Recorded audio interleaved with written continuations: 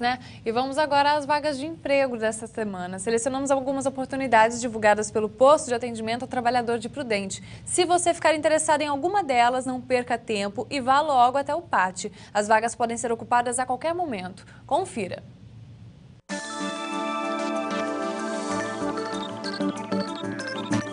Para auxiliar financeiro tem uma vaga. É necessário ter ensino superior completo. A procura por pedreiros é grande. São 26 vagas nesta semana. Os candidatos devem ter, pelo menos, ensino fundamental completo. Já pensou em atuar como auxiliar de farmácia? Basta que o profissional tenha concluído o ensino médio para entrar na concorrência por uma vaga. Atenção pessoal, há semanas a gente vem falando das vagas para auxiliar de produção e ainda tem oportunidades. Agora restam 20 vagas.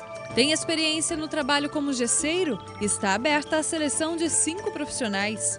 Não encontrou ainda uma chance para você? No Pátio de Prudente tem ainda vagas para soldador, montador de estrutura metálica, carpinteiro, costureira e ainda vagas no comércio para vendedor e atendente de balcão. Para ter mais informações, vá até a rua Rio Grande do Sul, na Vila Marcondes, em Prudente. O pátio está localizado no número 30.